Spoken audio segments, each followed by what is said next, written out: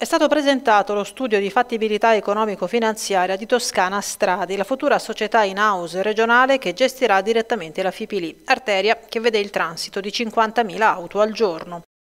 La principale novità è l'ipotesi di introduzione di un pedaggio per i mezzi pesanti, pedaggio che sarà circa il 70% rispetto a quello che viene pagato attualmente sulla Firenze Mare. Il pedaggio ipotizzato sarà di tipo aperto, dunque forfettario per lungo o breve periodo, senza l'installazione di caselli, ma con l'uso di transponder simili a quelli delle ZTL. Un pedaggio insomma free flow.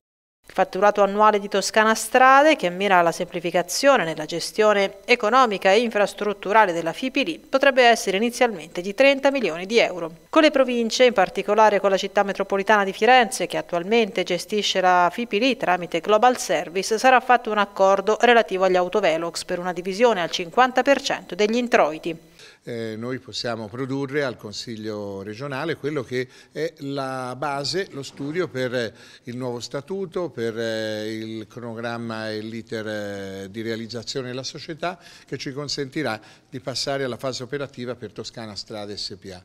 Eh, io ritengo che nasce anche in collaborazione con quello e quindi in sinergia con quello che è la società Autostrada perché poi fondamentalmente Toscana Strade vuol diventare un po' questo, vuol diventare la dire, la società autostrade della Toscana. Eh, partendo nei primi periodi si concentrerà eh, tutto sulla FIPILI. Le tempistiche che noi abbiamo insieme in, ehm, in, fase di elaborazione, la bozza è pronta, la legge istruttiva di Toscana Strade perché dobbiamo modificare un paio di leggi regionali e il connesso statuto. Una volta approvata la legge, entro sei mesi gli organi si dovranno costituire, organi snelli perché è previsto l'amministratore unico, l'assemblea con socio unico e un eh, collegio dei revisori dei conti.